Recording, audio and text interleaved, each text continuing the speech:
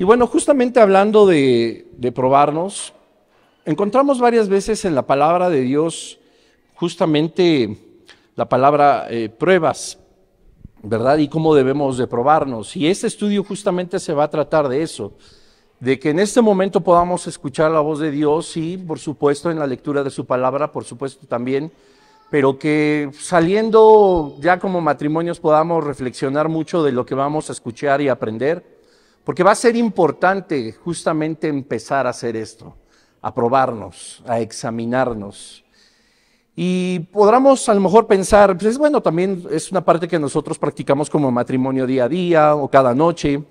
A veces lo hacemos una vez a la semana, quizá una vez al mes, a veces una vez al año, ¿verdad? A veces eh, tenemos la intención de, de, tener una cena quizá, ¿verdad? Y agradecer por todo lo que, eh, las bendiciones que hemos tenido durante un año o quizá un mes, etcétera y nos reunimos en, oración, ¿verdad? Pero la idea de poder aportar a nuestra vida espiritual y más como matrimonio en el día a día, nos va a llevar a tener una relación como matrimonio, por supuesto, con el Señor muchísimo más sólida, ¿verdad? La práctica de lo que nosotros podemos aprender en la palabra de Dios como matrimonio es una práctica constante que nos lleva a probarnos a nosotros mismos.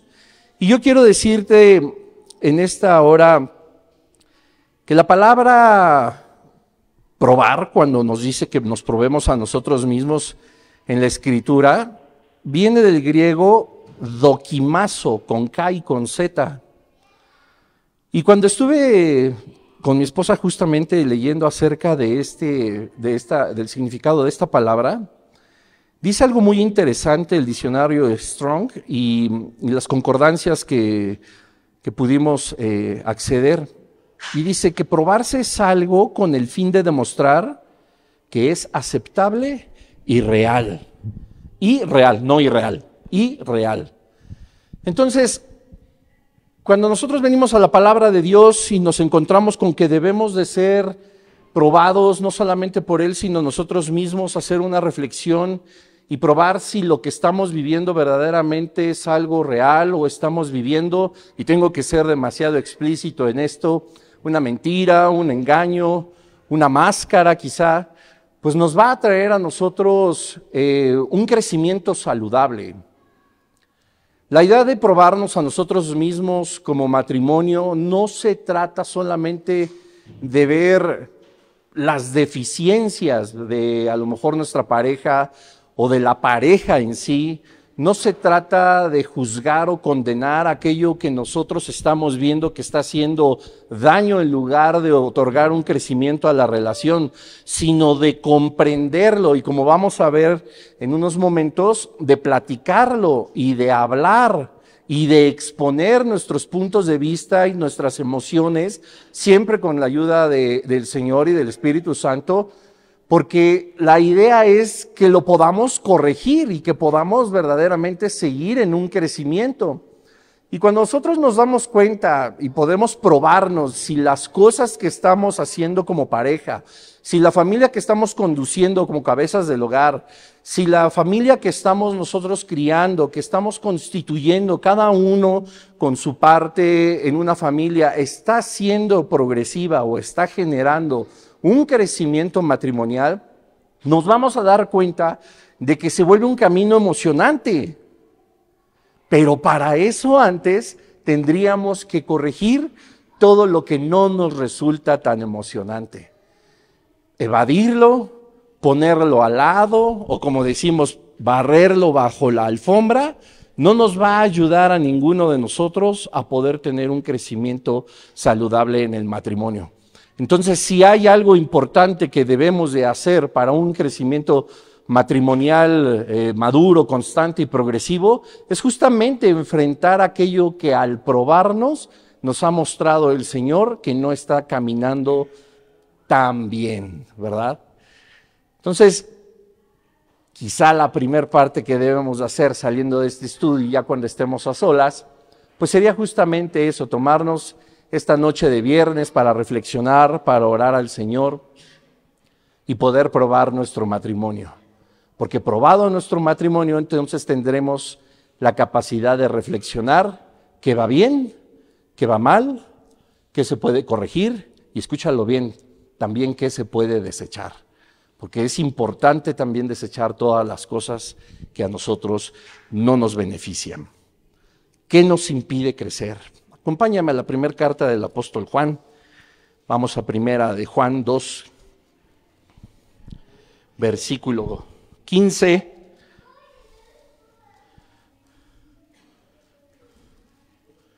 Primera de Juan 2, versículo 15. Dice así, no améis al mundo ni las cosas que están en el mundo. Si alguno ama al mundo, el amor del Padre no está en él. Porque todo lo que hay en el mundo, los deseos de la carne, los deseos de los ojos y la vanagloria de la vida, no proviene del Padre, sino del mundo. El mundo pasa y sus deseos, pero el que hace la voluntad de Dios permanece para siempre.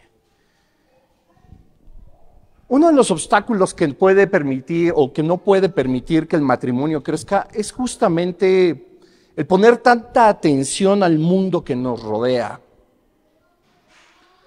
Hemos desviado muchas veces, y no lo categorizo como que sea en cada matrimonio, pero creo que ha sucedido en gran medida, que el orden matrimonial, la situación matrimonial, sobre todo, sobre todo en la última década, quizá en los últimos 20 años, se ha transformado de una forma que prácticamente hubiera sido inconcebible para los matrimonios quizá de nuestros padres, para los matrimonios que más años tienen juntos, nuestros hermanos seguramente nos podrían dar testimonio. Hubiera sido inconcebible pensar que el matrimonio puede constituirse en un tronar de dedos. Que el matrimonio puede constituirse o darse en matrimonio, darse en casamiento por el puro afecto de nuestra voluntad, ¿verdad? O sea, solo porque quiero me puedo casar. Antes se creía en la institución del matrimonio como la base fundamental de una sociedad. Se creía en la institución del matrimonio como la base fundamental de una cultura entera. Y no es que me atreve a decirlo, sino a categorizarlo, que el matrimonio es la base fundamental de la humanidad y todo lo que conlleva, por supuesto. Y había cierto valor, y había cuidado por elegir una pareja, y se tomaba el tiempo, y se tomaba muchas diferentes formas de conquistar, de conocer, de compaginar. Los hombres eran demasiado varoniles, las mujeres tan femeninas. ¡Wow! Era una época increíble. Y no estoy hablando de hace mucho. Y todo eso con base en la premura de querer compartir aparentemente tu vida con alguien que te empieza a entusiasmar, emocionar, o que te provoca un enamoramiento o con un espíritu de fascinación, decisiones apresuradas, la misma sociedad se ha encargado de otorgarlo. Se ha encargado de que te quieres casar, cásate, no pasa nada. ¿Te quieres casar con, con una persona de tu mismo sexo? Cásate, no pasa nada. ¿Crees que el matrimonio es algo que en un momento puedas desear y al siguiente desechar? Adelante, te doy la autorización, dice la ley. Y se ha vuelto algo tan cotidiano y les voy a explicar por qué. Casarse ha sido tan fácil para las nuevas generaciones no pensando en el matrimonio como el de hace 20, 30, 40, 50, 60 años, porque simple y sencillamente cumple con el capricho del mundo, de que ahorita quiero una cosa y si ya no me gustó, puedo desecharla. Para poder desecharla, vamos a hacerlo sencillo. Te voy a divorciar también en un tris. Si pudiéramos pensar que la disolución de un matrimonio no es tan sencilla, si las leyes procuraran formar familias, matrimonios sólidos, constantes, llenos de tolerancia, de amor y de muchas cosas que vamos a ver en unos momentos, si la ley pensara que valdría la pena proteger esos valores, harían que disolver un matrimonio fuera muy difícil. Y ahorita es muy sencillo. ¿Tenemos abogados presentes? Es muy sencillo. ¿No te gustó tu matrimonio? Divórciate. Es tan sencillo. Están los dos de acuerdo. Si firmenla aquí, están divorciados.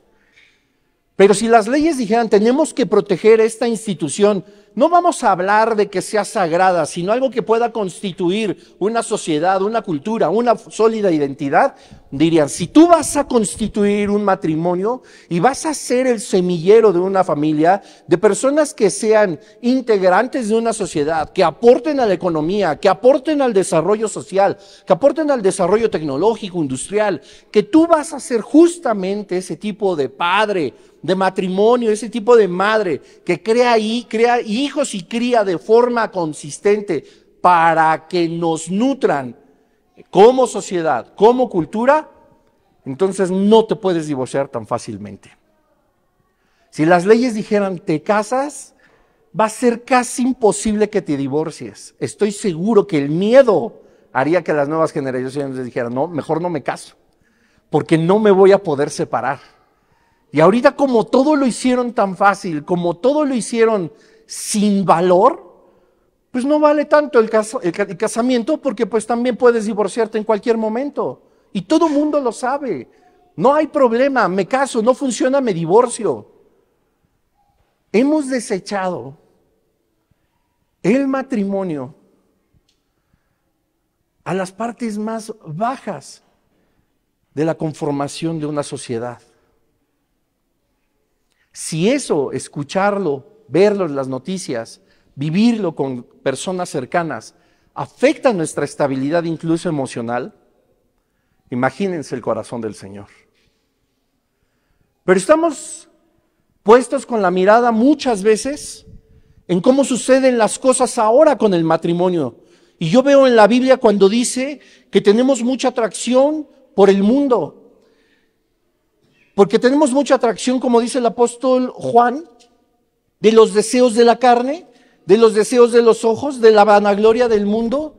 Y que como yo ya estoy harto de mi matrimonio, veo la posibilidad contundente, tajante, inmediata de poder empezar una vez más, de poder poner mi mirada en alguna otra persona, de poner mi mirada a lo mejor en la soltería para que mi economía sea más próspera, de poner mi mirada a lo mejor en estar ahora solo, y acceder a muchas parejas y acceder a muchas personas y hacer de mi vida lo que yo quiera, no estar sometido a una persona, mucho menos a las leyes de la vida y mucho menos a las leyes de Dios. Y vemos que todo es tan fácil. Y ojo, porque nos conocemos a tantas personas que evidentemente no están en los pies de Jesucristo, no han llegado a conocer al Señor, que empiezan a hablar justamente de eso, que empiezan a normalizarlo Incluso en reuniones sociales, yo te pido que tengas muchísimo cuidado en tus reuniones sociales, porque no estoy diciendo que no vayan a tu casa a comer personas que no sean cristianos, que no conozcan del Señor, todo, o sea, lo contrario, ¿no? En tu casa pueden ver que el Señor reina, que hay un Dios que gobierna esa casa y eso es un absoluto testimonio para ellos, el ver cómo tratas a tu esposo, cómo tratas a tu esposa, cómo tratamos a nuestros hijos, etcétera. Y no estoy diciendo que no los invites, es un claro testimonio, pero se ha contaminado tanto la iglesia al convivir con matrimonios que llevan dos divorcios, tres divorcios, custodias de hijos peleados, hijos con un matrimonio, hijos con otro matrimonio, y habrá muchísimas razones que en su momento pudieron ser válidas, habrá algunas que fueron solamente vanagloria, apetitos de la carne, pecado en sí, y empiezas o empezamos, ¿verdad? A ver como muy normal. Y los hijos de esos matrimonios, nuestros propios hijos que empiezan a convivir con los hijos de estas personas, empiezan a ver que todo es muy normal. Quiero aclarar aquí que no estoy extendiendo el dedo para señalar ni juzgar ningún matrimonio, ni ninguna persona, y mucho menos a los hijos de las personas. Pero sí lo extiendo con la palabra de Dios en la mano dando testimonio de que la corrupción matrimonial está presente en nuestras vidas y alrededor. Y cuando nosotros damos lugar a poder entender que son los tiempos modernos, ya es algo normal, las mismas leyes lo aprueban. Cuando empezamos a llenarnos de tanta normalización, empezamos a perder la capacidad de asombro y empezamos a bajar los brazos como protectores de nuestro matrimonio.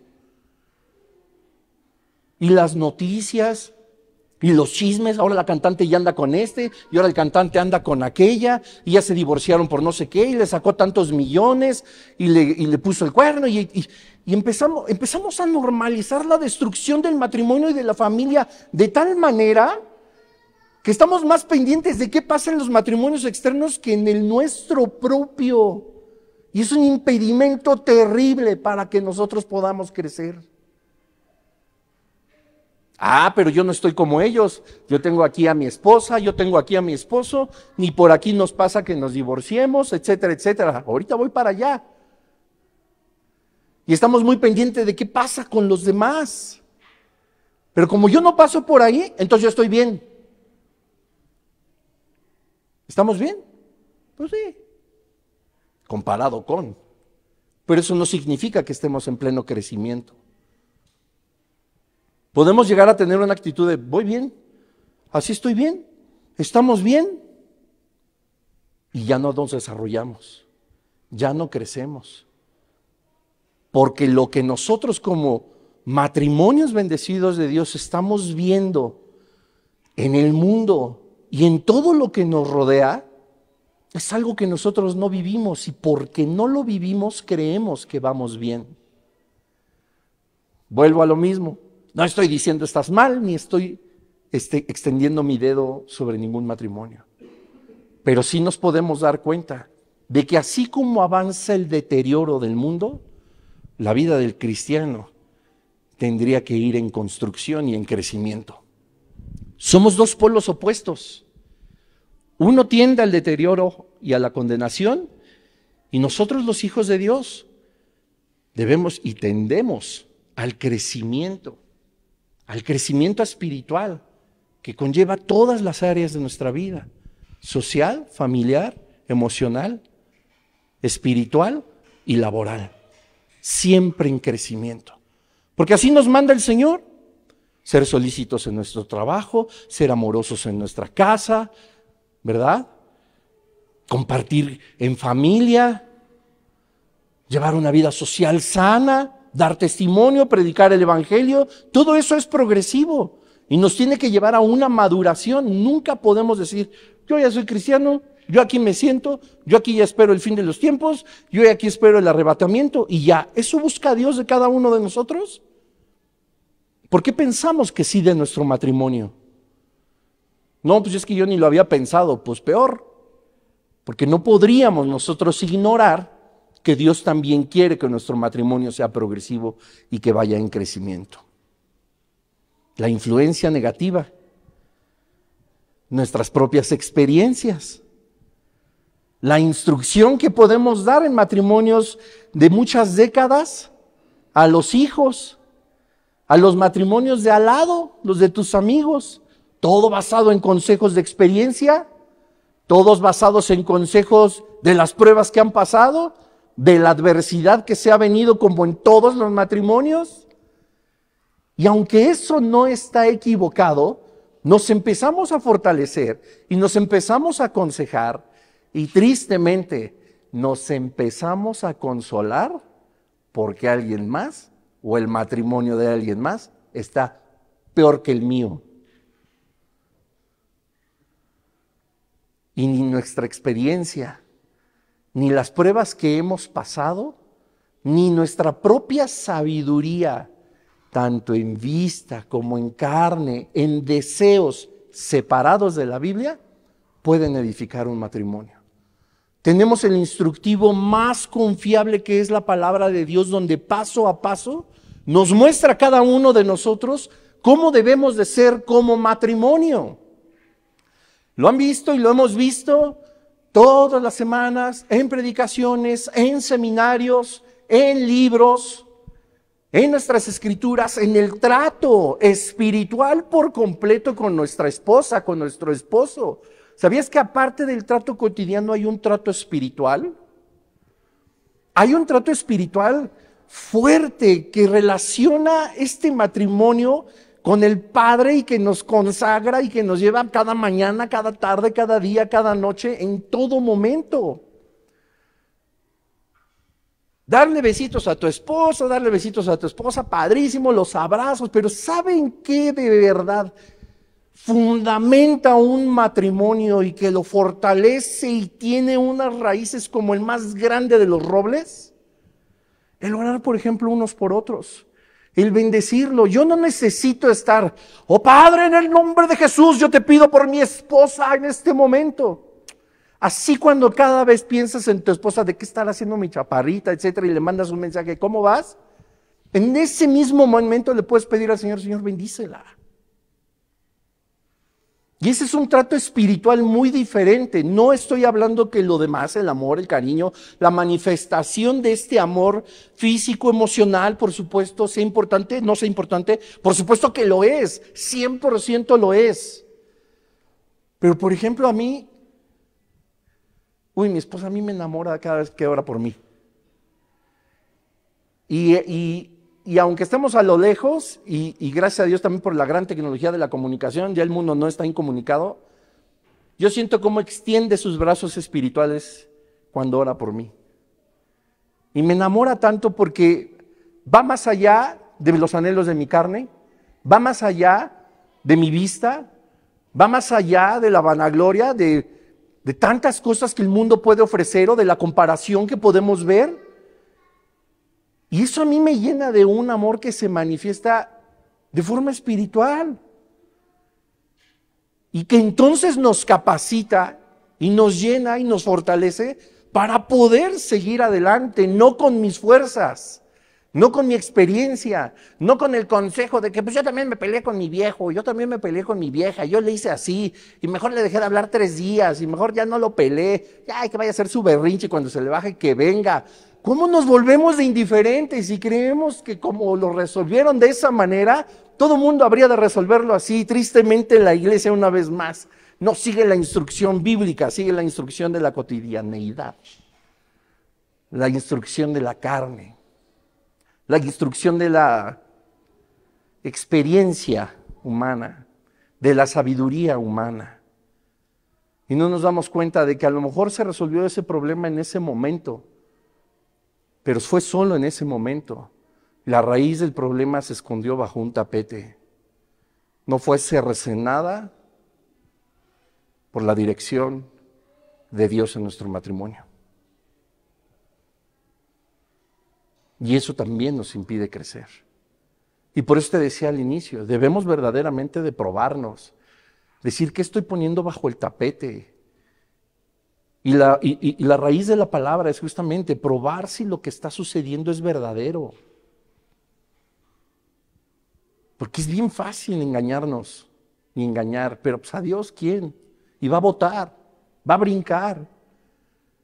Y eso nos puede impedir estar creciendo como matrimonio, nos puede impedir seguir adelante con la aventura.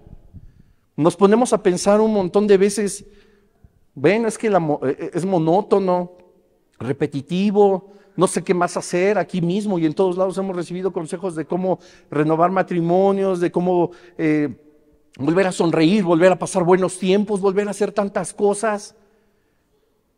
Nos hemos llenado de un montón de consejos que quizás no ponemos en práctica.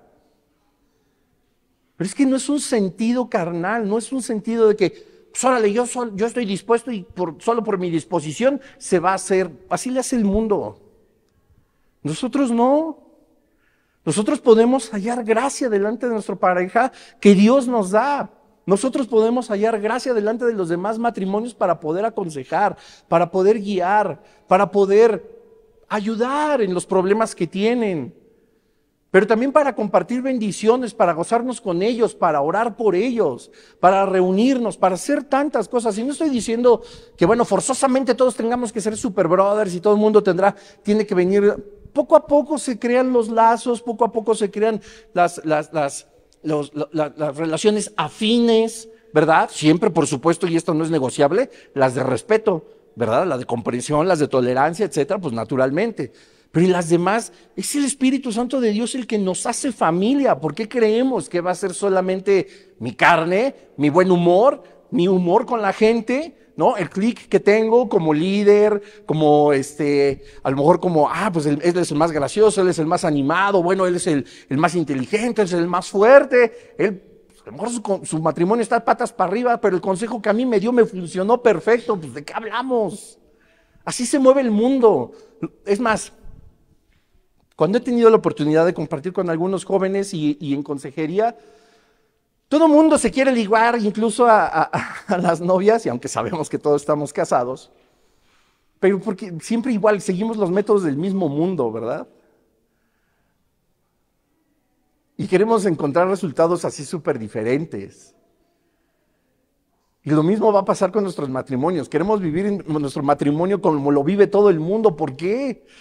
No nos damos cuenta que esto no solamente, como te decía hace un momento, es el fundamento de toda sociedad, de toda cultura, de naciones enteras, pero más fundamento que todo es del reino de los cielos, de algo espiritual por completo, de algo que Dios bendijo. Si tú te vas y te remontas hace 30 años, hace 15, hace 20, hace 10, hace 5, si te remontas cuando pusiste este matrimonio en las manos de Dios y un pastor pidió la bendición sobre tu matrimonio y tú no puedes dudar que Dios lo bendijo, no podemos pensar que en ese momento eso se hizo terrenal.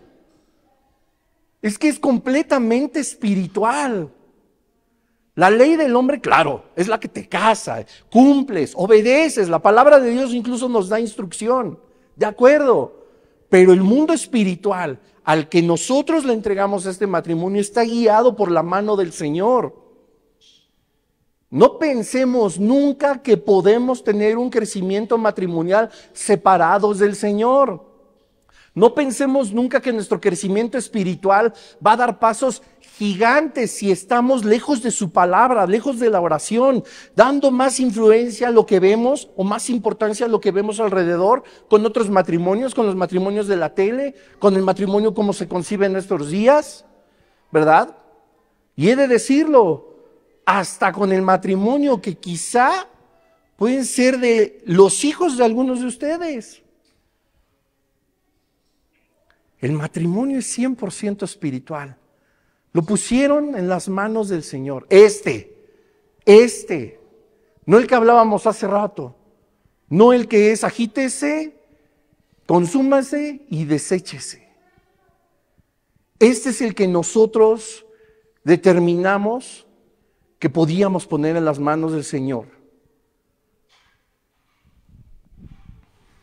Cuando ponemos las cosas en las manos del Señor, valga el paréntesis, hay que sacar las nuestras. Hay que sacar las nuestras. A veces decimos, y no es una oración equivocada, Señor, ponga la vida de mi esposa en tus manos. Pero la vida de tu esposa ya está en las manos del Señor. Solamente que nosotros podamos entender que estamos en sus manos.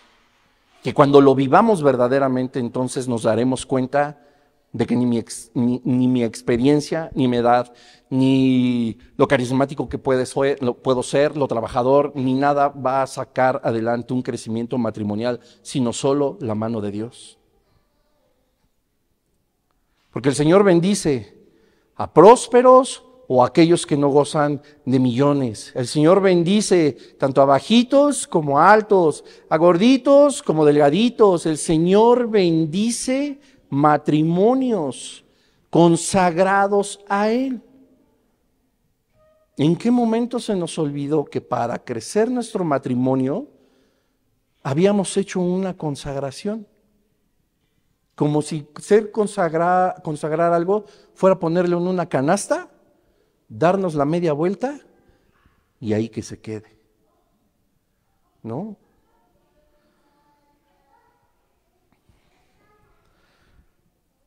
Otra de las cosas que puede estar impidiendo que nosotros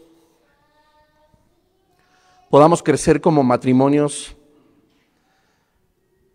son las pruebas y las tentaciones. Alguna vez yo leí y compartí en un chat y creo que no fue tan bien recibido el comentario,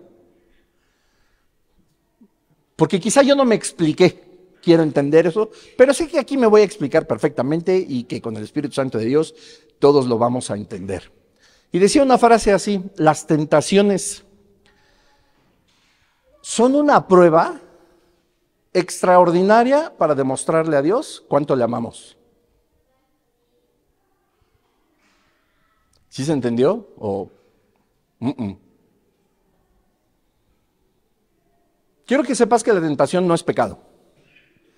El ataque de, Satanás, el ataque del reino de las tinieblas, pone un buffet de tentaciones día a día, momento a momento. Él sabe de qué pie cojeamos cada uno, por ahí quiere atacarnos. Es el área que más tenemos que fortalecernos, etcétera, etcétera, etcétera. Pero tentaciones siempre va a haber. Estoy seguro que nadie hoy me podría decir, no, Bruno, yo hoy no fui tentado para nada. Lo dudaría. Pero vamos a suponer, los que somos más como mortales, somos tentados. Qué grande oportunidad para decirle a Dios cuánto le amo al no sucumbir en esa tentación, por amor a Él, por amor a mi esposo, por amor a mi esposa. Y si creemos que las tentaciones son solamente porque viene una mujer o un hombre delante de nosotros, estamos equivocados. También hay tentaciones que nos pueden llevar a ofender, que nos pueden llevar a enfurecernos, que nos pueden llevar a ignorar a nuestra pareja. Hay tentaciones que cuando caemos y sucumbimos al pecado, nos llevan, por supuesto, a ignorar a nuestra pareja, a no darle el valor que tiene, a no darle todo lo que necesita, a descuidarlo, a desprotegerla, a desprotegerlo, a no orar por ella, a no orar por él. Pero como queremos pensar siempre que una tentación tiene que ver con impureza sexual, con algo que es para serle infiel a mi esposo, para serle infiel a mi esposa, uno puede caer en una, tentación donde pueda dañar al matrimonio con actitudes que no convienen. Y nosotros pensamos, y vuelvo al inicio, que no probarnos no es algo que necesitemos que no analizarnos como matrimonio, cómo vamos, es algo que nosotros no analicemos. Y dice Primera de Corintios 10, vamos a leerlo rápidamente, del versículo 12 al 15, dice así, así que el que piensa estar firme, mire que no caiga. No os ha sobrevenido ninguna tentación que no sea humana pero fiel es Dios que no os dejará ser tentados más de lo que podéis resistir, ¿verdad? Sino que dará también juntamente con la tentación la salida para que podáis soportar. Rápidamente lo comento, ahí es cuando uno muestra el amor al Señor. Cuando en lugar de sucumbir ante la tentación, vas por la puerta que Él te puso para salir. ¿Cómo encuentras esa puerta? Sabiendo que estás pecando en contra de Dios. Por tanto, amados míos, huid de la idolatría. Dice, como a sensatos os hablo, es decir, le está hablando a personas como el Señor en esta noche, que son sensatos en Él, que entienden lo que el Señor está advirtiendo. Juzgad vosotros lo que digo. Ahí sí, ya cada quien. Peleense con el Señor. Juzguen ustedes lo que el Señor está diciendo, pero me voy al principio. Versículo 12. Así que el que piense que esté firme, mira que no caiga. Ya nos lo sabemos de memoria todos. Y entonces todos luchamos como matrimonio para poder crecer, no caer. Mire que no caiga, mire que no caiga. Para poder crecer, no peco. Para poder crecer, no voy a acceder a la tentación. Voy a demostrar cuánto amo a mi Dios. Por amor a Él, busco la salida que Él mismo me proveyó no me siento derrotado porque Él me dijo que esa tentación yo podría soportarla y salir de ella.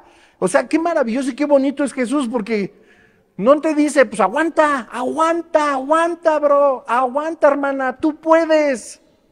Uy, aguanté, ¿verdad? Ya acabó la tentación, la aguanté. No, nos dio la salida, no nos manda estar luchando, no nos manda estar aguantando nos manda salir por donde Él nos indicó. Y creemos que todo va bien con este versículo.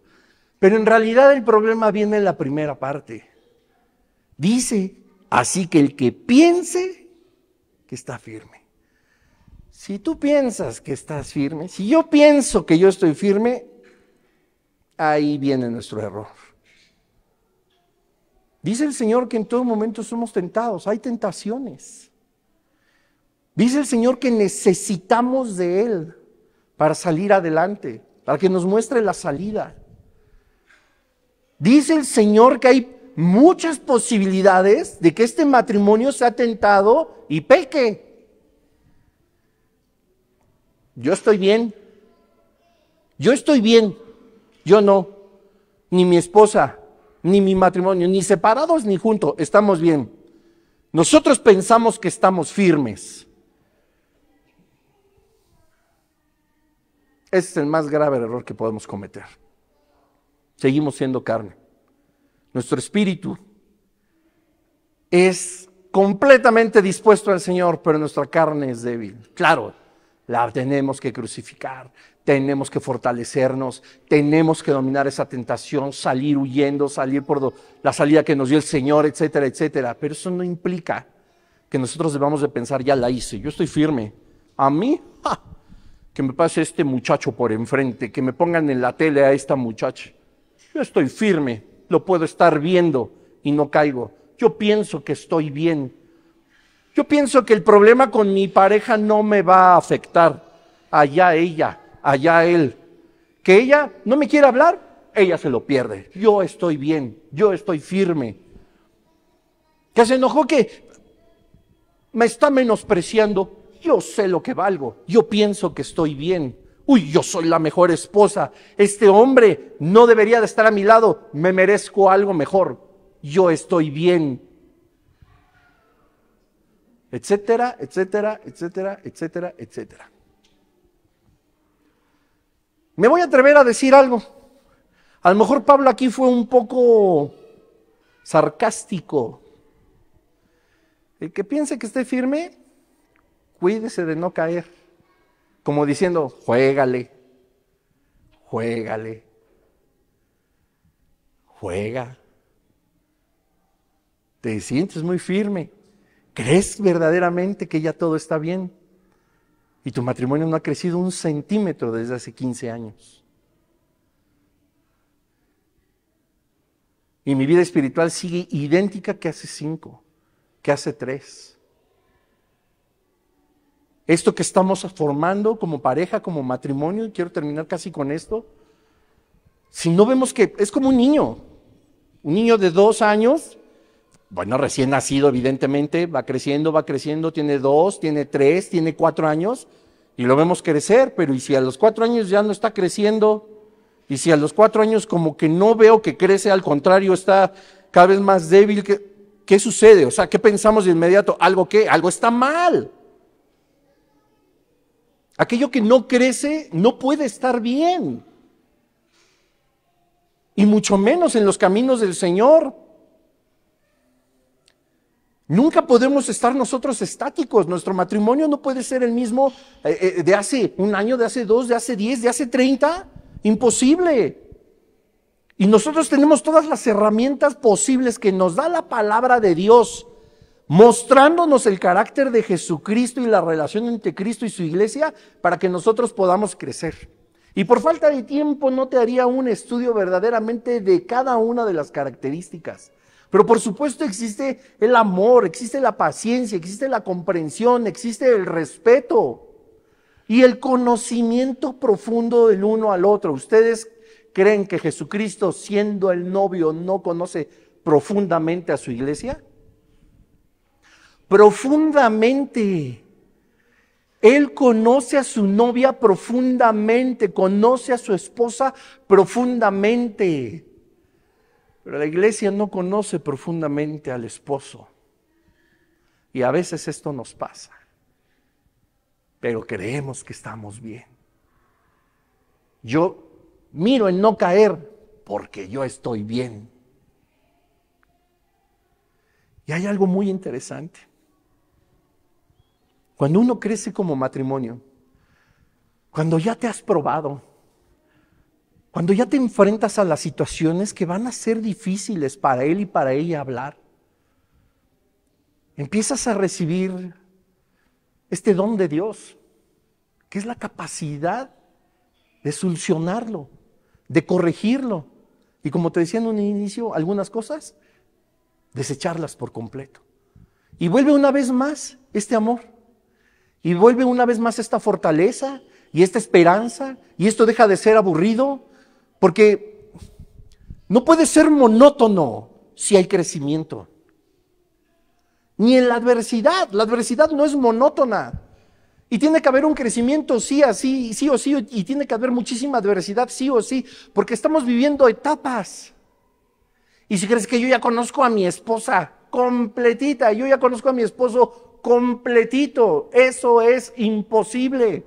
Eso lleva toda una vida matrimonial. No solo los tres años que yo llevo con mi esposa, no solo los diez que me dijeron, los veinte, los treinta. Hay quien lleva cuarenta, cincuenta años de casados y tienen que seguir conociéndose. Es que es imposible. ¿Por qué sería imposible si hay etapas de cada uno? Y en cada etapa hay una reacción diferente. Y eso nos ponemos a pensar. Porque yo tengo un matrimonio de tres años, pero la etapa que vivimos del enamoramiento ahora es una diferente. Y es un entusiasmo y es una verdaderamente algo profundo volver a conocer en una nueva etapa a mi esposa, a mi esposo, si ahora tenemos familia, si ahora tenemos un hijo, si a, nosotros nos cambió muchísimas cosas, imagínense con tan pocos años de casados y nada más tener un perrito en la casa, cambió muchas cosas. Cambian las etapas, yo soy diferente, ella es diferente, nuestro muchacho es diferente.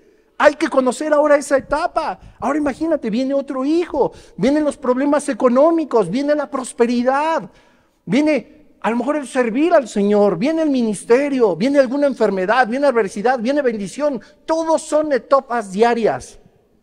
No puedes pensar que esa esposa a la que tú presumes conocer es la misma persona. Algo tuvo que cambiar en ella. Y es entusiasmante conocer, en este caso como varones, cómo tenemos que adecuar eso que Cristo nos dio como cabeza de un hogar a esta nueva etapa. Pero también las mujeres. Y al esposo le empieza a ir muy bien o al esposo le empieza a ir mal. Un esposo ya más grande, mayor, empieza a lo mejor con problemas, con signos a lo mejor de debilidad, ya no es tan fuerte. ¿Por qué piensas que va a ser el mismo hombre al que tú presumes conocer desde hace 20 años? Su estado de ánimo es diferente. Su forma de vida o de ver la vida es completamente diferente. Esa etapa ha hecho un nuevo hombre. Y no estoy diciendo que para mal. Qué entusiasmante volver a conocer a esa persona que has amado por años. Esto no termina. Cada situación hay una etapa que transforma al esposo o a la esposa. Y entonces tenemos que adecuarnos y buscar el crecimiento. Ah, no, es que a mí ya no me gusta mi esposa así. No. Estás mal, bro. Estás mal. Es una oportunidad en esta etapa tan maravillosa de que vuelvas a conocer a la persona de la que te enamoraste, con la que has convivido, a la que amas. Ah, es que mi esposo ya está todo canoso y barrigón. Ya no le cierran las camisas en los conciertos. Ay, no, es que mi esposo ya no tiene eh, la misma energía que tenía antes. Es una nueva persona. Y si verdaderamente la amas, quiero conocer a este nuevo hombre. Quiero saber cómo ser idónea para él también. Quiero conocer a esta nueva mujer, esta etapa que nos está presentando y tenemos que crecer y así hasta que se muera alguno o hasta que venga el Señor. Entonces, si tú crees que un matrimonio va a ser monótono por el paso de los años, estás equivocado porque el paso de los años está lleno de etapas y esas etapas son buena oportunidad para conocerse más y más y más y más. Y una de las cosas que va a hacer que esto funcione sí o sí es hablar probarse y hablar. Hablar mucho. Escúchame bien. Tienen que hablar, hablar y al final hablar y hablar y hablar y hablar y hablar. Eso da una profundidad increíble. Miren, por ejemplo, con mi esposa de pronto nos gusta salir en la moto y vamos a desayunar o lo que sea. Y ahí voy yo manejando, ella va atrás, llevamos música y los dos traemos casco. Y aunque existen intercomunicadores y lo que tú quieras, pues no vamos hablando. Y aunque lo pasamos bonito y nos gustan los paisajes y padre, pero lo más hermoso de todo es cuando nos quitamos los cascos y volvemos a hablar. Y volvemos a compartir la experiencia, a lo mejor de una curva o de que un camión se nos atravesó. O y hablar, y hablar, y hablar, y hablar de cómo me siento, y hablar qué hiciste, y hablar qué hacemos. Y armen rompecabezas, y vayan a lugares, y, y intégrense, hablen mucho. Porque el pez por la boca muere. Ah. No va a haber nada oculto si hablan, hablan, hablan, hablan. Ahora en la Riviera Maya tuvimos la oportunidad de hacer esta ceremonia de la renovación de votos y yo me tomé la libertad de hacerla a mi esposa, le diseñé un, un álbum de 100 citas. Y en esas citas, pues vamos a pegar las fotos y vamos a poner cómo nos, cómo nos sentimos, todo a mano.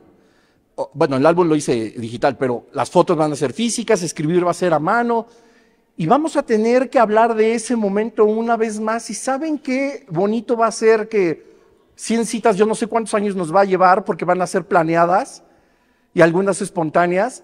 Pero no saben qué bonito va a ser que cada etapa nos vamos a encontrar con una mujer y con un hombre diferente. Y habrá algunas que puedan repetirse o que querramos volver a hacer o que querramos repetir. Y les voy a decir algo, lo que vamos a notar en ese lugar, en ese álbum, no va a ser igual. Eso a mí me entusiasma. Eso a mí me hace querer crecer con ella. Eso a mí me llena de esperanza de que también nos aguante tantito el Señor, aunque anhelamos su venida, podamos de verdad crecer como un matrimonio lleno de experiencias en el Señor y no influenciados por el mundo. Crecer en el Señor es emocionante. Hay muchas cosas que decir, pero quiero terminar con esto. Hay algo más sublime en el crecimiento de un matrimonio. Y es que ese crecimiento, el principal motivo que debemos de hallar es honrar a Dios. Un matrimonio que honra a Dios, que es progresivo, que suma y suma y suma a la vida espiritual, no solo de ese matrimonio, sino de todos los que lo rodean, hijos, familiares, hermanos en Cristo, etcétera, le trae gloria y honra a Dios. Porque es el fruto de lo que en aquella fecha tú pusiste en sus manos para que bendijera. Amén. Vamos a orar y darle gracias a Dios. Padre, en el nombre de Jesús te damos gracias, Señor. Gracias porque eres bueno, Padre. Gracias, Señor, por cada uno de los matrimonios que estamos aquí, Señor. Gracias porque tú nos has bendecido. Gracias, Padre, porque has tenido cuidado de nosotros en todo momento. Hoy venimos delante de ti, Señor, con un espíritu humilde, pidiéndote, Padre, que seas tú quien nos muestre en dónde estamos parados como matrimonio, Señor. Que sea tu Espíritu Santo, Señor, a solas, con cada matrimonio revelándole, Señor, qué hay que hacer, qué hay que corregir y sobre todas las cosas que hay que desechar. Dios, muéstranos qué ha estado impidiendo nuestro crecimiento como matrimonio. Y si, Señor, tú has notado un crecimiento, también oramos para que ese crecimiento sea exponencial, Padre. Queremos traerte gloria y honra a ti. Yo te pido en el nombre de Jesús, Señor, que cada matrimonio pueda ser una luz de tu amor, que pueda ser una luz de esperanza, Señor, que pueda ser una luz de consejo, de guía, de fortaleza, un ejemplo verdaderamente, así como lo eres tú para nosotros. Hoy en esta hora, Señor, ponemos una vez más nuestro matrimonio en tus manos y queremos decirte que hemos de sacar las nuestras aquellas que están llenas de comparación, aquellas que están llenas de normalización, aquellas que están llenas de monotonía, de resignación. Hoy, Señor, sacamos nuestras manos de ese matrimonio de esa forma. Queremos que seas tú, Señor, mostrándonos a cada uno de nosotros qué hemos de hacer para que nuestra esposa sea completamente feliz. ¿Qué hemos de hacer, Señor, para que nuestro esposo sea completamente feliz? Darte la honra, Señor, parte de que nosotros podamos estar en tus caminos. Darte la honra, Señor, parte también de que podamos seguir tus pisadas. Honrarte a ti, Señor, como matrimonio, parte de la obediencia, del ser sabios y del ser consagrados a ti. Hoy, Señor, ponemos nuestro matrimonio en tus manos una vez más. Bendícelos, Padre. Muéstrate a cada matrimonio de una forma poderosa, maravillosa que como pareja podamos enamorarnos también cada vez más de ti. Que así como llegamos a compartir emociones, divertimentos, proyectos, podamos compartir lo que cada uno amamos más y es tu presencia. Gracias Señor te damos, porque con tu palabra Dios, tú traes a nosotros un refrigerio, nos has evidenciado, Señor, que hay mucho camino que recorrer, puesto que la persona que está a nuestro lado y nosotros mismos no somos los mismos que ayer. Danos la sabiduría, la paciencia, la comprensión, el amor, Señor, para poder descubrir de manera profunda a nuestra pareja, poder vivir con ella, poder vivir con él, cada una de esas etapas y que podamos enamorarnos más y más, amar esas etapas, acomodarnos hasta que embonen de manera perfecta como a ti te agrada. Y más allá de eso, de una forma profunda, así como tú conoces a tu esposa. Te damos gracias por esta noche, Señor, y oramos en tu nombre, Jesús. Amén. Y amén. Amén, familia.